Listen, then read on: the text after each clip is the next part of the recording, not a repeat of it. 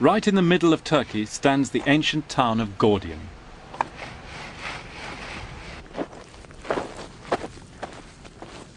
Alexander came here to meet reinforcements from Greece, but he was also drawn by a strange legend.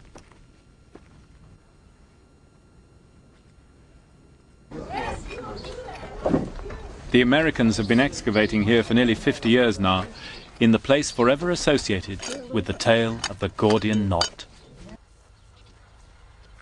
It was just a cheap farm cart, the Greeks said, like the ones you still see in Turkey today. Alexander took a long, hard look at this impossible knot. But he couldn't, for the life of him, see how he could undo it. It was probably rather like the kind of knots we call Turk's heads knots, a big knot with all the ends tucked up inside so you just can't see where to begin. By now there was quite a crowd gathering. Local people from Gordium who were always interested to see someone make a fool of himself trying to solve the riddle, and the Macedonian officers who were worried now. They wished Alexander had not attempted this. What happens if he fails, they were thinking. This would be a really bad omen. What happened next, we don't know for sure. Some say that Alexander pulled out the pin that held the, the shaft and the yoke together, loosened the knot so he could pull the yoke out. According to others, though, Alexander pulled out his sword and said it doesn't matter how the knot is undone, and he slashed the knot open to reveal the hidden ends inside. A very Alexander way of doing things. That night, thunder and lightning crashed over Gordium. The gods were with him. In that moment is the beginning of the myth of Alexander the Great. As the Macedonians marched down from Ankara to the Mediterranean, Darius left Babylon with an army twice the size of Alexander's.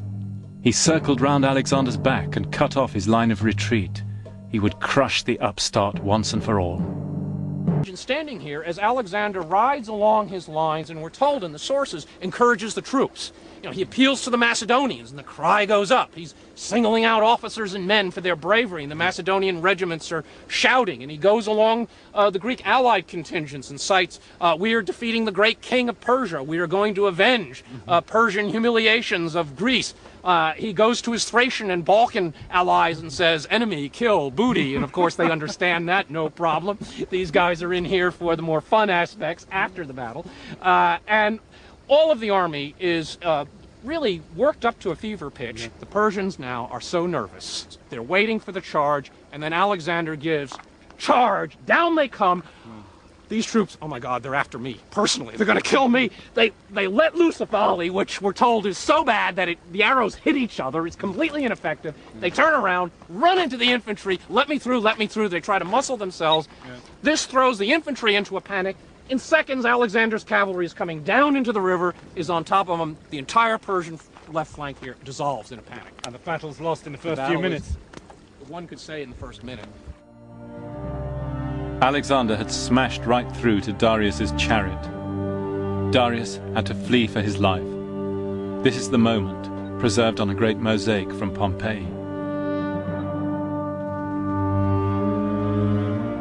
Alexander storms into the history books like a hurricane, wild-haired and wide-eyed.